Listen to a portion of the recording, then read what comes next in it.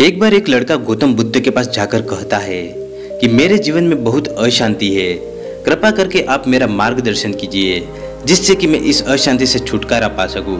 गौतम बुद्ध लड़के से जीवन की अशांति का कारण पूछते हैं। लड़का उत्तर देता है, अत्यधिक विचारों के कारण मेरे भीतर बहुत सारे विचार हैं, जिससे मेरा मन अशांत रहता है। बुद्ध मुस्कुराते हुए कहते हैं, ऊपर आकाश की ओर देखो और बताओ कि तुम्हें सूर्य दिख रहा है?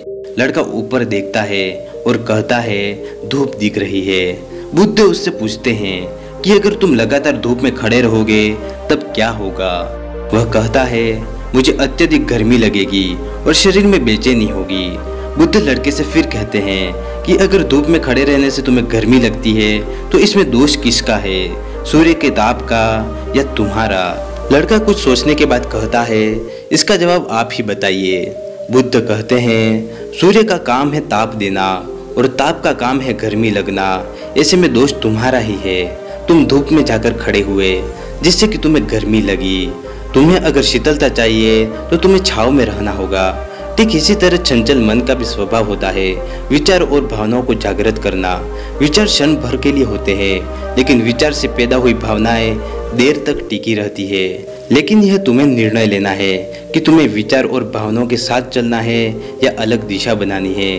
बुद्ध कहते हैं, मन को शांत करने के लिए तन के आयाम पर काम करना सबसे आसान तरीका है। शरीर के स्तर पर हमारी कर्मेंद्रिया और ज्ञानेन्द्रिया हैं। कर्मेंद्रिया कर्म और ज्ञानेन्द्रिया ज्ञान से जुड़ी होती है। इससे हम अपनी संवेदनशीलता को बढ़ा सकते हैं। यानी हम जो भी काम करें, उसे आनंद के साथ करें। मन के आयाम से हटकर, तन के आयाम पर जाने से तुम्हारा चित्त शांत होगा। ऐसा करने से तुम मन के आयाम से हटकर, शरीर के आयाम पर आ जाओगे। ठीक उसी तरह, जैसे तुम धूप से हटकर छाव में आ सकते थे।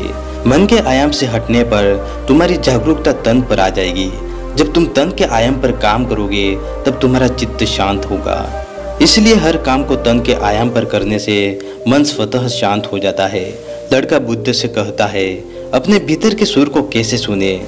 बुद्ध कहते हैं, किसी शांत स्थान पर जाकर अपनी आँखें बंद करो और मन के भीतर चल रहे शोर से हटकर भीतर के सुर को सुनने की कोशिश करो। सुर निरंतर चलता रहता है, लेकिन बाहर के शोर के कारण तुम अपने मन के भीतर चल रहे सुर को नहीं सुन पाते हो। जब तुम अपने दोनों कानों को अपने हाथों से बंद कर दोगे, तभी मन के सुर को सुन पाओगे।